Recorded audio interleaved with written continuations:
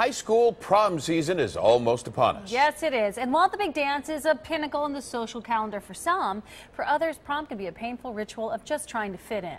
Nine on your side reporter Scott Wegener introduces us to one prom where the emphasis is on just being yourself.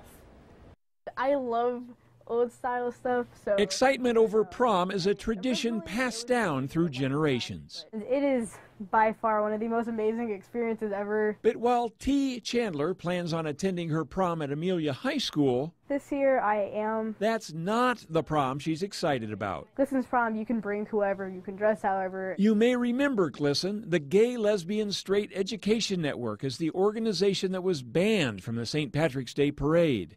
Banned because of their name. GLSEN is not just about gay and lesbian. It's about being inclusive and supporting and recognizing everyone. T, who tries to avoid using personal pronouns, says nevertheless her date is a bit nervous. This is the first time going, and they seem to be like a little shy, but ho- I, th- I told them I think they'll have a lot of fun. So much fun, T's mom, Antonia Chandler, is going to the same prom and not as a chaperone. It gives us a chance to sort of reclaim some of our youth, being able to do this. It's a wonderful experience.